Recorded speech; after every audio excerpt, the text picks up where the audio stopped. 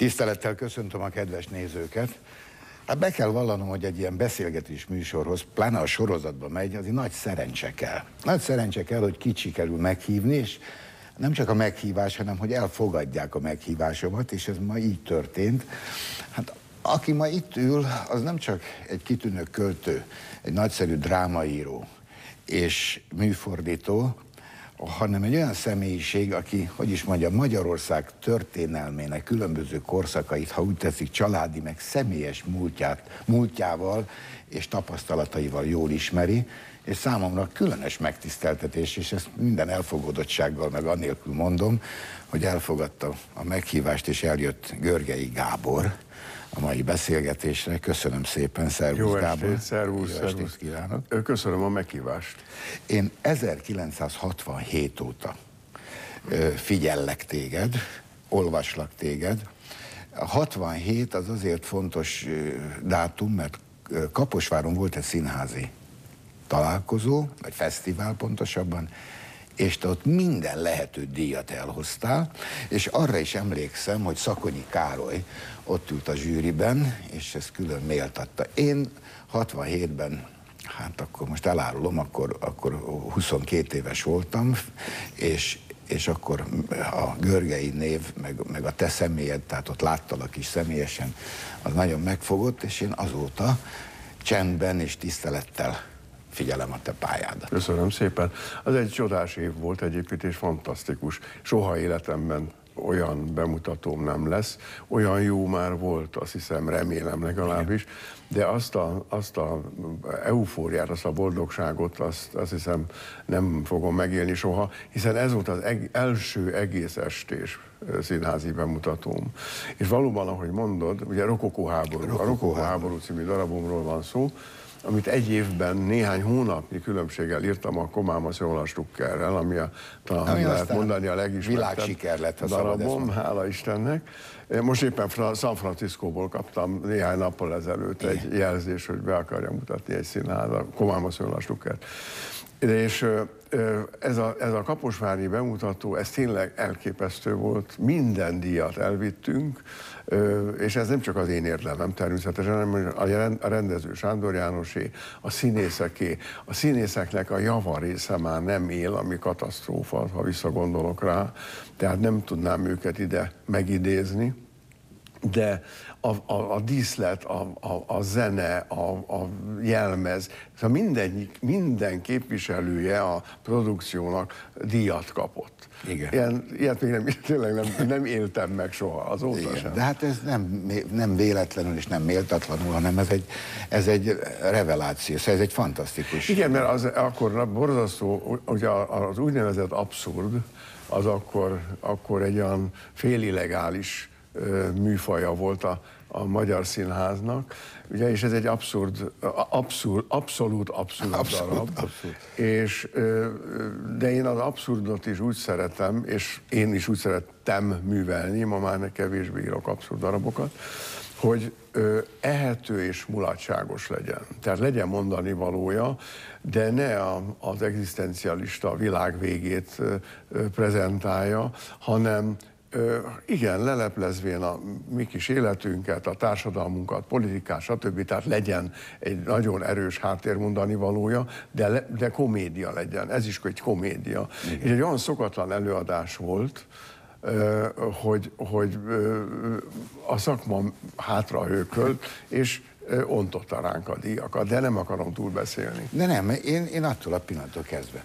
Na most a másik dolog, amikor, amikor tudtam már, hogy elfogadod a meghívást, és hogy már eljössz ide, és megadatik nekem, hogy beszélgessek veled, akkor arra gondoltam, és majd mindjárt meg fogod érteni, hogy egyszer azt hallottam, hogy Balzac korabeli térképpel Párizsban elég jól el lehet ma is közlekedni. Nem változtak az utcanevek, nem. Szóval, hogy nálunk, én a Hősök terénél laktam, hát az Andrási út, a Magyar Ifjúságtól a Stalin úton keresztül, hát szóval sokféle nevet viselt.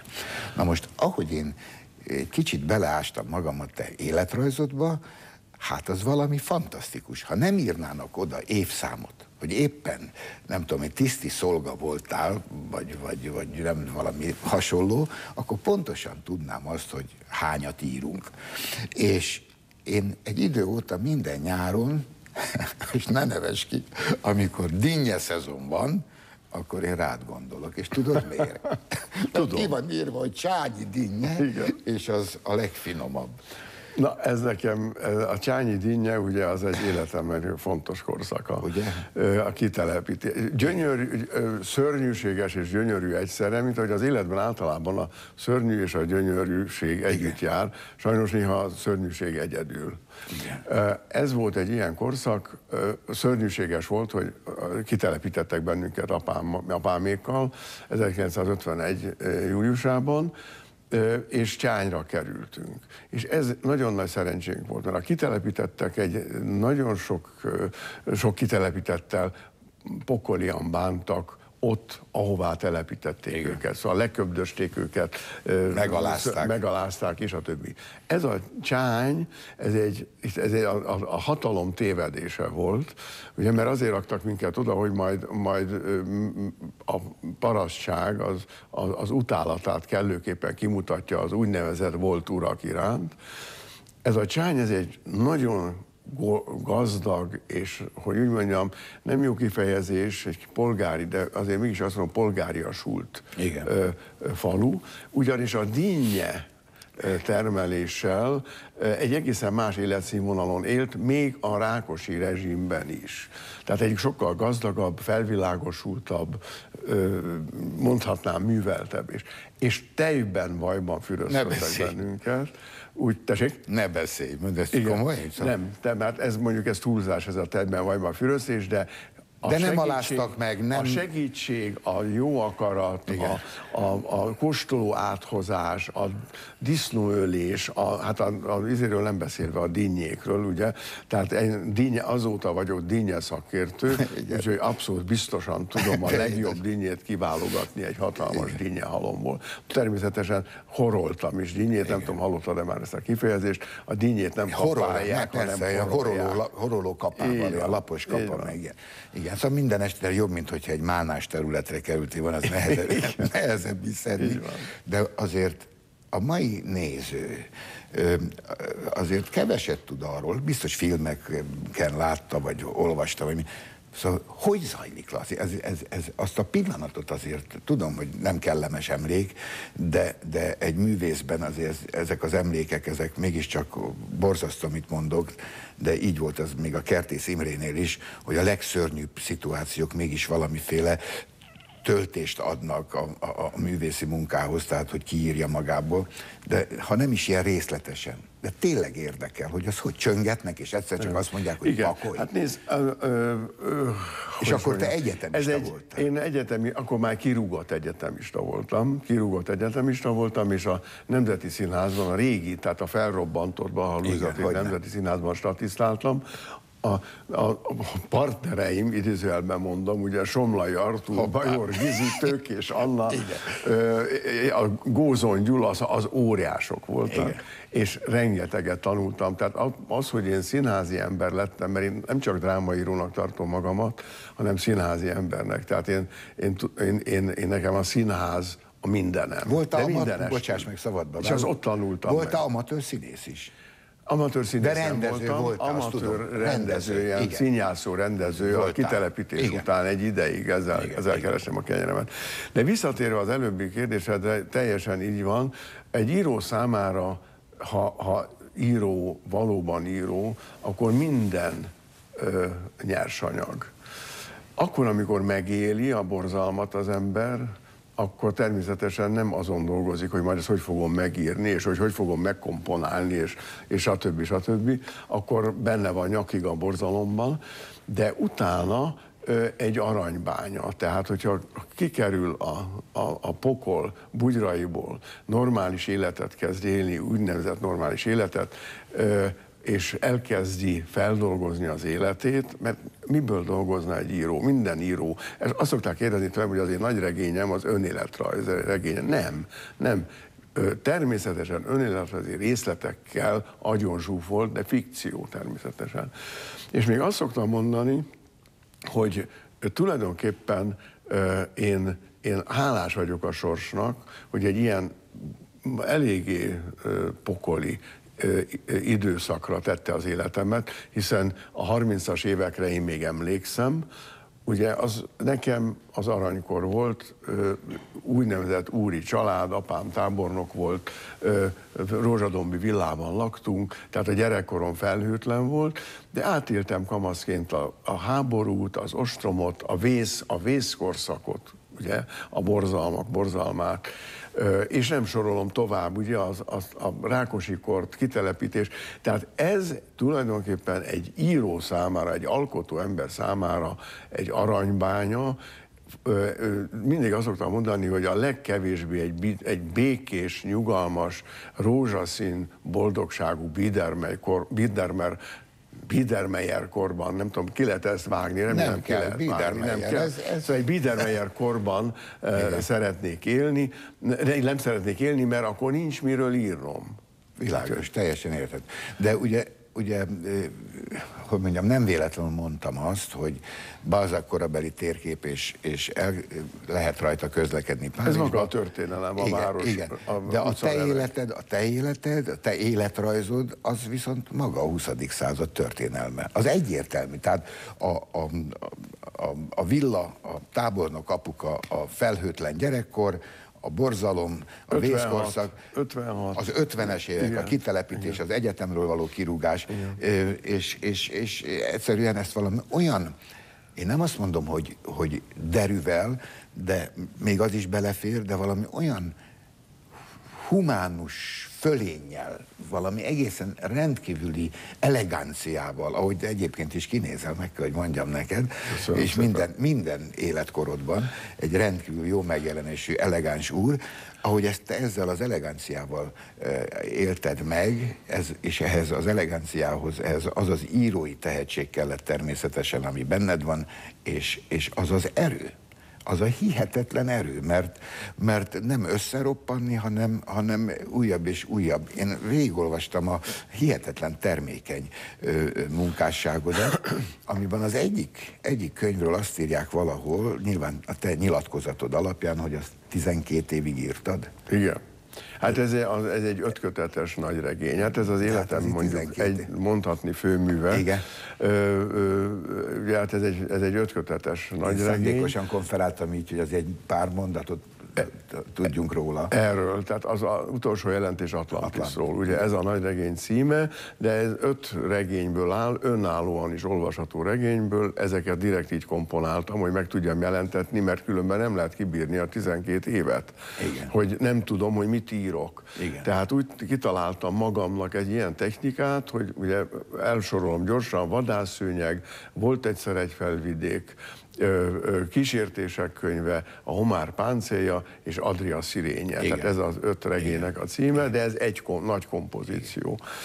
Ö, igen, nem, nem bírtam volna ki, hogy ne, ne tudjam, hogy mit írok, tehát ezért találtam ki, hogy külön regényekben jelen, jelenítem meg. Ebben valóban, amit az előbb a megtisztelően mondtál, hogy hát a század, meg a, a kor, ami, hát amit igen, átéltem, ö, igyekeztem, igyekeztem ö, ö, egy nyomatát adni, mégpedig talán egy olyan nyomatát, amit még nem nagyon írtak meg, mert nagyon sokféle aspektusból azért megírták már ezt a kort, de miután én nekem a, a, a lábam feje még benne volt abban az elsüllyedt Atlantisban, ami a, ami a Horti világ világot jelentette. Ugye, és aztán jött a többi 45 után, tehát én még emlékszem erre a világra, és nekem vannak gyerekkori, sőt kamaszkori emlékeim erről, tehát egy ilyen utolsó mohikán vagyok, semkit nem tudnék mondani hamarjában a, a írótársaim közül, tehát nekem ezt a korképet, hogy úgy mondjam, ha már író lettem, kutya kötelességem volt megrajzolni, mert úgy adta az élet, úgy adta az Isten, hogy ezt az egészet át kellett élnem. Szépségével, szörnyűségével, mindenestül, amilyen a mi korunk. Igen, na most ezt a műsort színesítjük azzal, hogy megszólítunk egy-két embert, aki rólad beszél, Igen. és hát olyan műsor ritkán Szóval olyan műsor, hogy mondjam, sem itt, sem más televíziós csatornákon ritkán fut le, hogy valaki valamilyen oknál fogva ne szerepeltesse azt az urat, aki most rólad fog beszélni. Nekem is szerepeltetnem kellett egyébként most minden viccet félretéve. Ő nagyon szeret és nagyon tisztelt téged, és akkor kérem, hogy játszátok És be. te áruld el ki az. Mindjárt meg fogod látni. Tiszta gondolkodású, tiszta agyú, nagyon-nagyon egyenes ember. Hatalmas műveltséggel, csodálatos versekkel, gyönyörű írói munkássággal. Az egyik darabja szerintem a mai magyar irodalom egyik égköve, Komámasszony hol a Stukker, de beszélhetnénk a Galobba vérmezőről, vagy beszélgetünk a húzatos házról, amiben a magyar történelmet írta meg, és mint ember egy konzekvens, hogy mondja nem tudom másképp elmondani, hogy ilyen emberek lenne szükség ma Magyarországon, hogy ez legyen a közepe. Mert ő ennek az egésznek, ami ma történik Magyarországon valami olyan ellensúlya, több ilyen emberre lenne szükség. Én azt gondoltam, és azt hittem, hogy egyszer ő lesz a köztársasági elnök.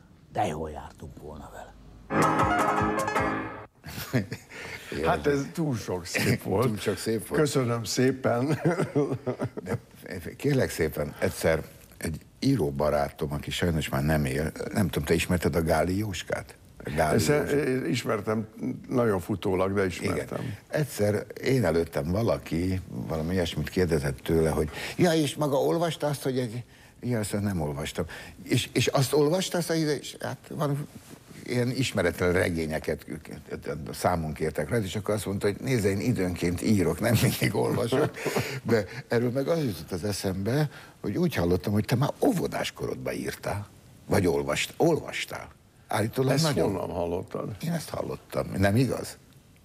Hát az iskolát megelőzően valóban már Igen, olvastam. Én, én ilyen úgynevezett Montessori óvodában jártam. Igen. Ez, ez akkor a 30-as években ilyen divatos, Igen. modern szisztémával dolgozó óvoda volt. Szórakoztató, kellemes óvoda, sőt, voltak iskolai osztályok Igen. is, de én már abban nem jártam. De hogy ezt, hogy honnan szeded, azt nem tudom. Majd utána, műsor minden, után beszélünk róla. Tudom. Na most megkértél arra, aljas módon, megkértél arra, hogy ne beszéljünk az Artur, meg a Gábor névről. Nem is be, nem, nem, azért, mert unom. De várjál. Mert nagyon azért, unom, tudod? É, jó, rendben És van. És hát, a néző már, ha látta, jó, hallotta, úgy, ő is unna. De, egyet, de egy nagyon fontos, azért megkerülhetetlen és, és azért megkerülhetetlen, mert az imént idézett, vagy bejátszott Sas József, mondta nekem, hogy egyszerű látta a ti családfátokat. Hogy, hogy, ez, ez, hogy ezt, ezt valóban megmutattad neki? Szóval, Nem.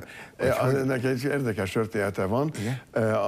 Az egyik nagy, nagybátyám, tehát Igen. a, apám unokatestvére, aki egyébként nagyon ügyesen rajzolt, festett, de nem volt festő, Igen. csinált egy családfát a 30-as évek elején, 31-ben azt hiszem. Igen. Gyönyörű, hatalmas, nagy családfa, és ő egy fába komponálva, ami sziszipuszi munka lehetett, csodálom, valóban a családnak a, a ágait és, és eredetét felrajzolta. Én éppen rajta vagyok, a legfelső, a legfelső csücskén, hát még persze. éppen rákerültem, voltam egy vagy két éves, vagy mennyi, de én éppen rajta, rajta. vagyok, harmadik Artúr, tehát harmadik Artúrral ül szemben, csak hogy tud. Fenség és... maradhat, hogy ülve. Igen. És az első kimutatható ősünk 1093-ban tehát 1903-as datálású, hogy mondjam, nyoma van, levéltári nyoma van ennek a ősnek. Tehát ő van a törzs alján. Talán 903. Nem ezer. Mit mondtam? Azt hiszem 1900. Ja, de hülye vagyok. 903. Igen. Tehát, igen. Nem, 1095. Ja, ezer- ezer- ja, akkor jót mondtál. 1, 1 0, 95. Ja, jó, Tehát akkor magyar jó. szóval kimutathatóan 900 éves a család, de én ezzel nem nagyon szeretek dicsekedni, természetesen nagyon nagy becsben tartom. Na most ez a családfa, ugye kitelepítés, mindenünk elveszett, a bútorai, a, ugye egy hétszobás rózsadombi villát hagytunk ott, ö, ott bútorostól, mindenestől, éppen a legszükségesebbet lehetett elvinni, ami az élethez, a mindennapi élethez kellett, és hogy milyen módon, hogy, fogalmam sincs, a lényeg az, hogy egyszer a, a feleségem megtalált egy ilyen göngyöleget a motyók, a családi motyók között, amik megmaradtak. Ez, egy, er- ez volt egérágta széleivel ez a bizonyos családfa. Ez megmenekült, ami az Isten csodája. És akkor ő felkasíroztatta, és felakasztottuk a Solymári otthonunkban, a téli kertben, és ezt látta meg a Sasi Ja, akkor erről. De hát és akkor azt jó. mondta, hogy, mit, hogy reagált rá? Azt nem mondta. Azt nem mondta. Hogy reagált? Nagyon kedvesen. Igen? Nézte, nézte, és azt mondja, ne mond, 1095, te, és ez kóser? De jó, nagyon jó. Nagy, de az a villa, ahol nét kitelepítettek, az megvan most is? Azt a villát néhány évvel ezelőtt bull, buldózerezték És ki lakott benne utána? Egy, ö, a kitelepítés után közvetlenül egy, egy egyetemi tanár, Na. Mindegy. jó, jó, jó helyezkedett. Jó- jó hely. Ezért nem, nem akarom mondani a nevét, családtagjai valószínűleg élnek még, vagy, Jó, magyar szóval jó. Nem, nem akarok senkinek kellemetlen pillanatokat sem okozni. Egy hatalmas kert volt, egyébként apám ezt, amikor nyugdíjba ment, mint tábornok, akkor a Gál Franciskától, a, aki, akkor, a, a, aki világsztár volt, Hogyne. színésznő, akkor ment ki Hollywoodba, azt hiszem 38-ban vagy 37-ben, már nem Igen. tudom pontosan, a Gál Franciskától vette. Gyönyörű, nagyon szép villa volt, imádtam lenni, Hmm. óri, és óriási kertje volt. Ezt, az, ezt az, ebből az óriási kertből és ebből a nagy villából én soha semmit nem láttam, illetve kaptam érte olyan 300 ezer forintnyi kárpótlási jegyet, jegyet. amivel ugye te pontosan tudod, hogy mit lehetett csinálni. Semmit. Ezt meg, nyilván megvették a, azok, akiknek kiutalták. És azok milliókért adták el. Semmiért, És no, milliókért ugye nulla, és, és hát most egy, izé, egy, egy, egy lakópark szerű építmény. Őrület. Nem nagyon szeretek arra járni, Elhiszem. mert, mert túl vagyok rajta, de azért fáj. Elhiszem. Elhiszem. Egyébként nem, ilyen, nem egy ilyen esetet ismerek. Én is voltam egy csodálatos villában, egyszer egy német társulat itt filmezett, és azt a villát bérelték ki, elképesztő. Bull bútorokkal volt berendezve. Hát most nem tudom, egy, egy ilyen aukción, egy bull éjjeli szekrény milliókat ér, stb. És kérlek szépen, na mindegy, én sem mondok nevet, pedig tudom, Az eredeti tulajdonos kapott egy pár százezer forintot, és az illető meg eladta egy svájci milliárdosnak, nem tudom miért, 800 millióira villát. Szóval egyszerűen hihetetlen, hogy ez hogy milyen ügyesen zajlott le ez a kárpótlás. És nem- csak az a rózsadobni telek, ha megvolna, ha megvolna most, akkor nem volnának gondjaim. Elhiszem. De remélem az így sincsenek. Tessék? Remélem így sincsenek, ne legyenek Gondjaim? Nem, hát gondjaim nincsenek. Jó, jó. Most kérlek szépen, mielőtt a reklámait, ugye minden televízió most megszakítja a műsorát, de mindig bemondom, hogy a reklám után rögtön visszajövünk, itt is pillanatokon belül reklám lesz, de előtte még azért hagy, hagy kérdezek tőled valamit. Ö, ugye a görgei név az, az, az bizony megkerülhetetlen, ebben egyetértettünk. Azt is, hogy katonák voltak, az édesapád is tábornok volt. Te voltál katona? Nem. Én csak munkaszolgálatos voltam. Nem, mert A Rákos, mert ugye nem tudom, tudod, de hogy a Rákosiéknak Hogy is volt munkaszolgálatuk. A Rákosi nagyon sok mindent átvett Igen. a, a nyilas időkből, átvette a kis nyilasokat, átvette a... Azok a, szorgalmasak, a, a, igen. Igen, a, tehát átvette a csőcseléket, és például átvette a munkaszolgálatot. És tehát 51-ben a, kit, a kitelepítés közben ö, ö, volt még egy kis munkaszolgálatos Igen, az, de volt is valami munka. Munk, valamilyen milyen század volt, valami munkaszázad, vagy valami ilyesmi neve is volt. Nem, nem Építő volt század. neve, száma volt. És fegyvert nem kaptatok? Ah, megbízhatatlan. Fegyvert. Fegyvert. Az, az osztályellenség. Hát, Igen. De lapátoltuk a izét. A, hát én speciál a, a Kecskeméti katonai repülőteret építettem, amíg ott voltunk. Hát akkor jöjjön most egy kis reklám.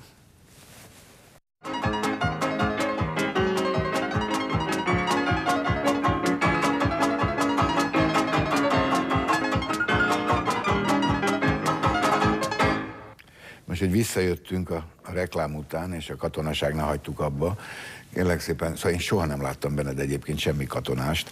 Én ugyan voltam 18 hónapig, De én benned se látom. Hát bennem azok se láttak, ahol voltam. Én voltam az egyetlen olyan katona, kérlek szépen a Ceglédi tüzérezrednél, aki képes volt egy riadó alkalmával, mivel kultúros voltam, és a kultúranyagot is ugye mozgósítani kell, mozgósítani kell, amikor riadó van.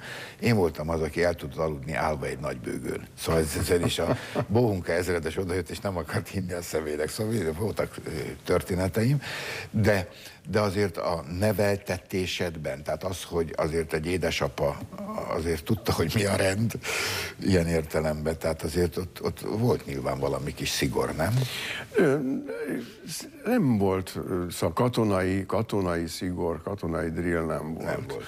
Nem volt, és hát apám ugyan egy zárkózott ember volt, de egy nagyon jókedélyű ember, és nagyon életszerető ember. Igen.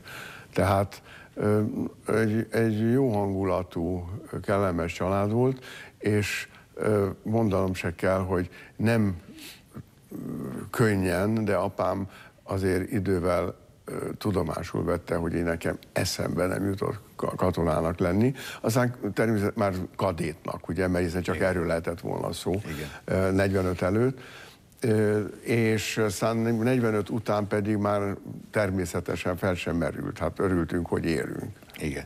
Hát a, a katonasságtól, illetve a katonai pályától hát messzire került a művészgyermek, és az egyik darabjából, most ha megengeded, akkor egy darabodból egy részletet bejátszunk, és akkor majd elmondod körülbelül, vagy előtte mondanád el, hogy miről van szó? Nem, hát néhány mondaton, de semmi nem derül ki egy ilyen kis Hát részletből. persze, csak ez mint egy illusz- nézőnek ezt tudnia kell. csak egy Tükörjáték a címe, az ősbemutatója 2000-ben Németországban volt, ez az érdekessége, ahol ugyanaz a Iván Ildikó játszotta németül operaénekesnőként azt a szerepet, amit ebben is játszik, abban a magyarországi Igen. kamaraszínházi előadásban.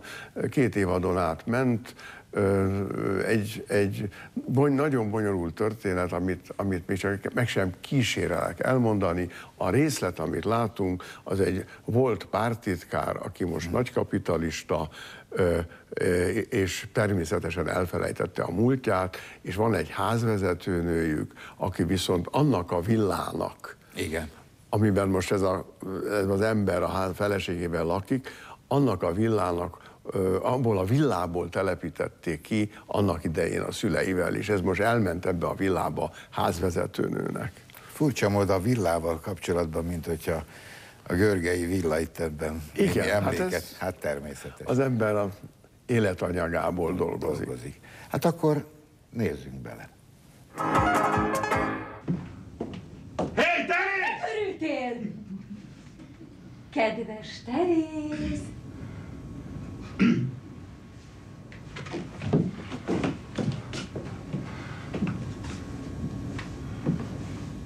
Kedves Teréz!